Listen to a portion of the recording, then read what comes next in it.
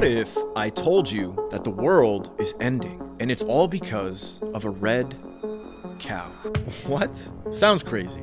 But stay with me, because as unusual as this sounds, this isn't sensationalism or clickbait. In September 2022, five red heifers were flown from the state of Texas into the occupied lands. They paid around $100,000 for each cow. Since last year, one of these cows have been disqualified, but the other four cows continue to be suitable candidates for the sacrifice.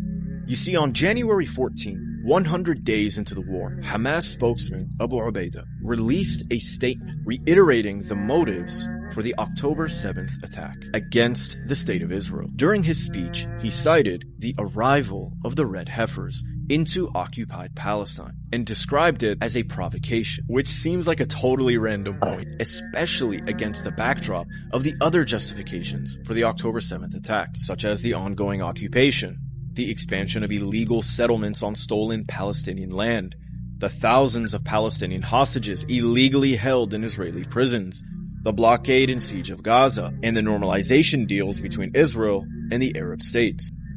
To better understand what this ritual is, we must look at what is stated in their scripture regarding it. In the book of Numbers, chapter 19, it is stated that, And the Lord spoke to Moses and to Aaron, saying, this is the ordinance of the law which the Lord has commanded, saying, Speak to the children of Israel, that they bring you a red heifer without spot, wherein is no blemish, and upon which never came yoke. And you shall give her to Eleazar the priest, that he may bring her forth without the camp, and one shall slay her before his face, and Eleazar the priest shall take of her blood with his finger, and sprinkle of her blood directly before the tabernacle of the congregation seven times. And one shall burn the heifer in his sight, her skin and her flesh, and her blood with her dung shall he burn. And the priest shall take cedar wood, and hyssop, and scarlet, and cast it into the midst of the burning of the heifer. The red heifer is a female bovine which has never been pregnant or milked or yoked, also known as the red cow. It was brought to the priests as a sacrifice according to the Torah, and its ashes were used for ritual purification. According to their rabbis, since the time of Moses, only nine red heifers have been sacrificed.